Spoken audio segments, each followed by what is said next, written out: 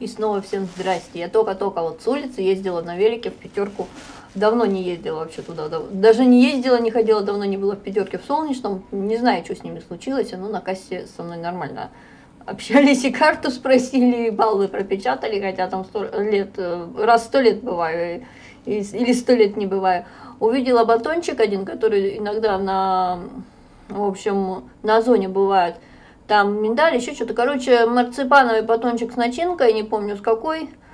Э, тоже вот этот Зентос, как я в атаке покупала. Хоть мне девочка, я так поняла, с Углича говорила, что в комментах, что он уже давно Ашан, но на чеке у меня было написано так. Как там на самом деле, не знаю, если буду ближе, как когда-нибудь буду, то за, зафоткаю на телефон название магазина, либо, может, на велике туда как-нибудь сгоняю. Но мне сейчас там, в принципе, ничего не надо. Короче, в общем, этот батончик я впервые в пятерке пользовалась фигней, которая сканирует товар и говорит, какая цена на самом деле. Пропечатается в вашем чеке. И спишется с вашего счета или с налички. Все-таки хочется ливнуть.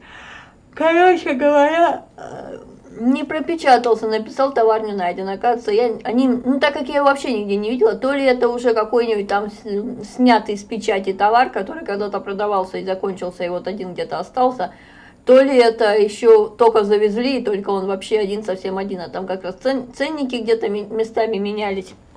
Вообще, я вчера была у тети, так немножко э, скидывала фотки на ком, скажем так, и пыталась понять, почему интернет, э, кстати, вот как в деревне приехала, интернет на, на Билайне, на телефоне вообще практически не ловится в цветочном, на механке, кстати, тоже не ловится, связь как бы есть, а интернет не ловится, в смысле на механке едешь на маршрутке или на автобусе мимо механки, раньше обычно там нормально с телефона все ловилось, тут нифига. В общем, оказалось, это не, не только у меня, видимо, или проблема с Билайном, или еще с чем. И, короче, этот, э, ужинала я там. И вот э, увидела рыбку, картошечки. Я думала, что это шпроты, оказалось, это рыбка такая копченая солененькая. Я поняла, что я хочу шпротов. Вообще, вот впервые, не знаю, за всю свою сознательную жизнь по собственному желанию хочу купить шпротов и поесть. Пару раз как-то покупала шпротный паштет, но чисто потому, что он был по скидке, я что-то так, ну как-то это, ну куплю так это что-нибудь сожрать картошечки или там с хлебушком или просто так. А тут вот реально захотелось шпротов. Раньше эти шпроты покупали их как-то не то, чтобы не любила, ну, ела, потому что надо на праздники есть. Даже как бы от безысходности ела. Пришел в гости, там шпроты, и вот все считают, что их надо есть. Ну, как-то так. Или бабушка до Новый год считала, что надо покупать шпроты, и вот хочешь не хочешь, надо есть.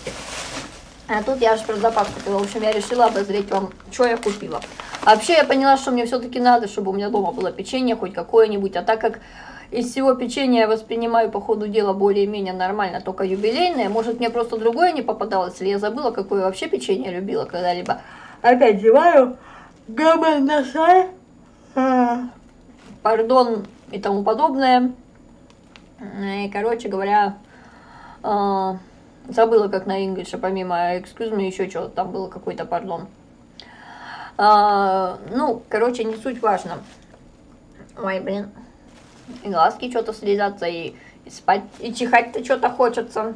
Я не простудилась, но что-то так. Я переоделась, конечно, но ездила я в топике, и так как у меня серые мои брючки, которые я так еще нигде не нашла, кирдыкнулись, то у меня снизу было теплое, более-менее такое, а сверху было летнее. Не то чтобы теплое, ну, штаны вот, которые я в Ярике последний раз, наверное, последний раз, когда была, покупала в Ярике в твоем, в твое штаны такие. Они полутеплые, полу нет. И, короче, сегодня я пью какао. Думаю, сейчас делаю себе бутербродик с колбаской, там, которую в атаке покупала. Делаю себе бутербродик, булочка у меня была чесночная, я понимаю, что булочка чесночная откинула копытца, то бишь заплесневела. Ну и пришлось мне одно какао без них топить. На завтрак, короче, в общем, печенье юбилейное. Я его как-то такое покупала в атаке, там была какая-то дофига скидка, оно по 7 рублей было. Я тогда, помню, накупила.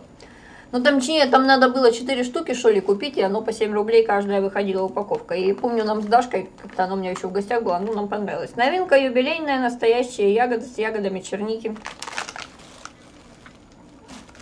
Не настолько и новинка, потому что до 7 февраля и 8.08 оно сделано. Хотя я тогда его еще и раньше покупала, так, вот так, да? И еще купила с клюквой. Оно что-то там по 26 было. У меня опять на 500 с лишним накупилось. В прошлый раз в магните я оставила 600 с чем-то рублей. Я, по-моему, не знаю, не обозревала то, что я вчера в магните купила вечером. В общем, или обозревала. Мороженка там было, наверное, обозревала. В общем, вот еще вот такое с клюквой. Ну, клюква, оно мне тупо нравится, моей тете нравится. Я думаю, оно всем нравится. В общем, теперь у меня есть два юбилейных печенья. Обычно бывают такие большие пачки юбилейного печенья по скидке, там 300 с чем-то грамм, но что-то их не было. Так, это я, это у нас растет. Вот такой вообще первый раз вижу. Это этот самый разновидность. Я знаю, что есть черный. У нас оранжевый, у, как в моем детстве на механке был, рос во, у второго подъезда. Как раз у окна моей тогдашней, ну, как бы, под, одна, из, одна из подружек детства Настя. Общая такая подружка детства Настя. Ну, в смысле, там нас четверо таких девчонок было вместе дружили, короче говоря. И, в общем, боярышник. Потом в прошлом году, вот собираюсь в эти выходные, если получится, в Выдры съездить. Ну, с, погодой, в смысле, если получится. Сегодня-то солнечно. Короче, в Выдрах у родни такой оранжевый.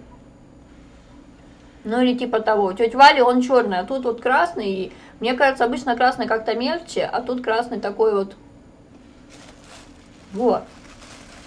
Как бы показать-то? Вот. О. С чем сравнить, даже не знаю. Вот, значит, флешка классическая. И вот эта ягодинка. Можно сказать, одна треть флешки. Я сейчас просто велик ставила и увидела его. Что-то до этого приехала из деревни, глянула, в сад ездила как раз на велике, смотрю, что-то нету. Думала, закончился, что ли, общипался, смотрю, видимо, ведь плохо видела, там еще ветром так подуло, смотрю, даже на нижних ветках я думаю, потом сходить, не сегодня, а завтра вечерком, если никто не обдерет, заберу. Он как раз не со стороны дороги, а сюда вот, со стороны как раз к зелени всякой, э, к этому самому, между липой еще чем-то, э, к тем сарайкам, где у меня велик, и у людей еще что-то стоит. Ну, типа к сарайкам, гаражикам или как их там. Так что он вполне себе никаких газов не вписал в себя. К тому же у вас, в принципе, там не особо часто машины едет. Короче, я никогда не покупала, но на стабильном мне попадается по скидке. А тут я замутила себе винегрет вчера, в общем, короче. Э, я забыла, что это свекла долго варится. И надо было, конечно, ее поставить варить, допустим, сегодня или доваривать уже сегодня. В итоге я где-то опять два, два с чем-то в три легла. В три легла, позавчера чуть пораньше, сегодня опять в три. Ну, очень хотела лечь пораньше, вообще меня врубало еще в 11, но у меня там случилась эта морковь, которую надо было разобрать. Я поняла, что если я ее сейчас не разберу, то оставлю, останусь без моркови, потому что, как меня предупредили, что есть плохая, есть нормальная, что вся нормальная тоже станет плохой. Даже совсем плохой уже никакой. Короче, сель по-исландски, филе кусочки, фишхаус беловинной заливки. Никогда не брала, ну, может, они нормально пойдут к этому, к винегрету. Потому что винегрет я все-таки сначала думала обычно делать, потом думала, а что, ну, раз уж я пятерку поперлась, надо купить все то, что... Все семь компонентов, чтобы были. Свекла, морковка, картошка, Потом этот соленый огурец у меня еще малосольный, я тогда промалосолила, его можно было есть уже на следующий день, но я классически забыла, и он у меня уже, видимо, засолился. Моя тетя сказала, я говорю, а что с ним будет? Он говорит, да, будет соленым уже. Короче, потом э, зеленый горошек, э, селедка и помидорка. Помидорка у меня как бы наша своя. В общем, вот что я купила себе эти шпроты. Там была поменьше баночка, 160 грамм, а это, по-моему, у нас 240. Э, вот такая же, ну состав такой хороший, а, и разница у них там что-то в 20 рублей была. Я взяла в итоге, которую изначально взяла побольше. Шпроты в масле, деликатное копчение на ольховой щепе. Это кто у нас делает? 3О Balt Fish Plus. Э, Псковская область, деревня Щеглицы. Я что-то все зеваю, зеваю, вариант сортировки. Вообще, я помню, что их лучше к вареной картошечке, но я думаю, может, они к винегретику нормально пойдут. В общем, у нас состав тут а, консервы из копченой рыбы, шпроты масле из салаки. Рыба салака копченая, масло подсолнечное рафинированное, соль поваренная пищевая. Нормальный, хороший состав. Общем, вот. Что-то около 90, 89, 85 рублей, как-то так. Оно типа шло по скидке. Потом, значит, ГОСТ э, маки, макерил, хрен знает. Я сначала думала, что тут на русский, но тут, по ходу дела, вообще не, непонятно на чем. Скумбрия бланшированная в масле, атлантическая.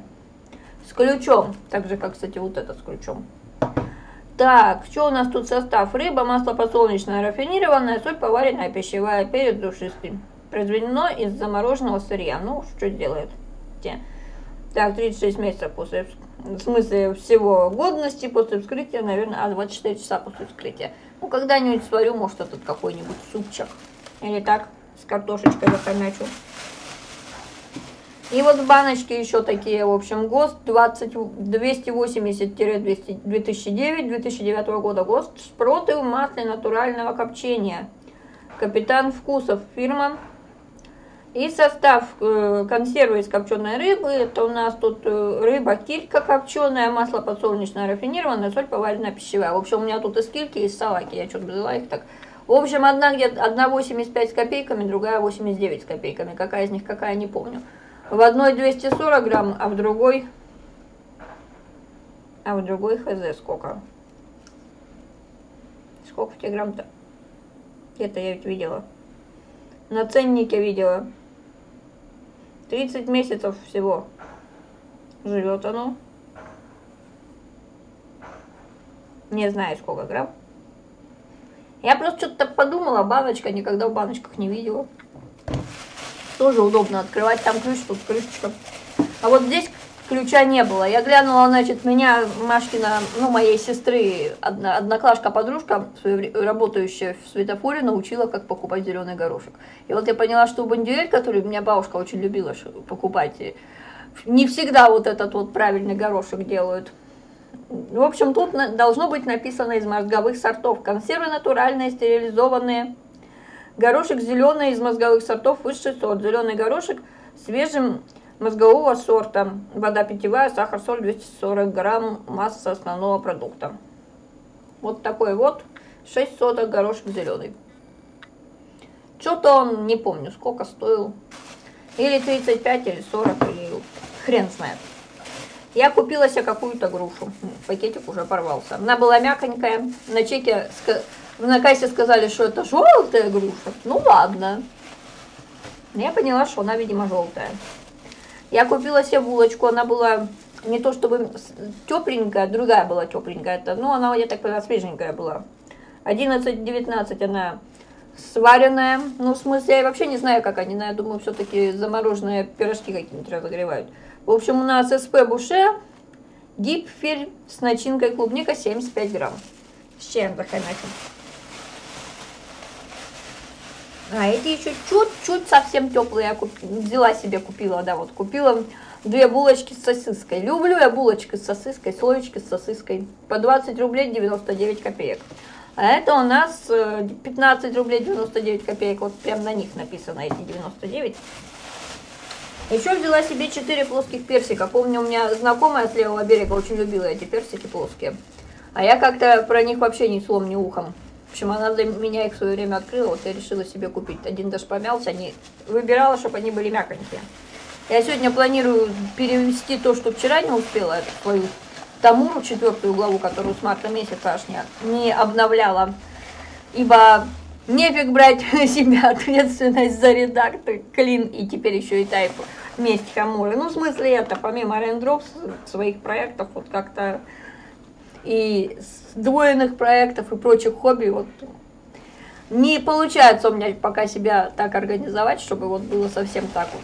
Ой, все, успевалась, ягодка упала. Короче, тут у меня горсточка этих ягод.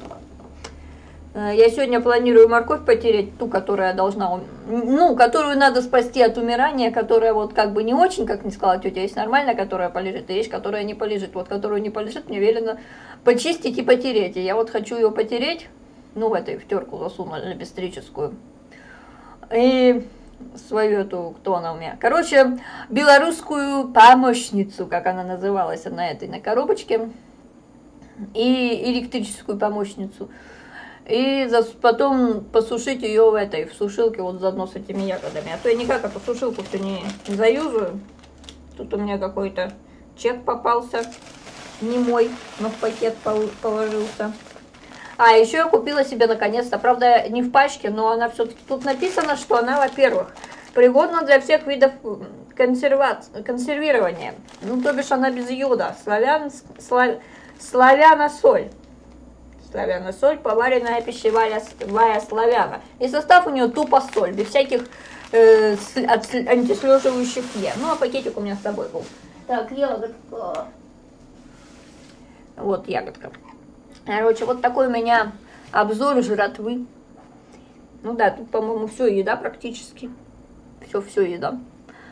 А, всем спасибо, кто был до конца со мной. Если вам это понравилось, а вы еще не подписаны, то давайте это, как бы, исправьте ситуацию.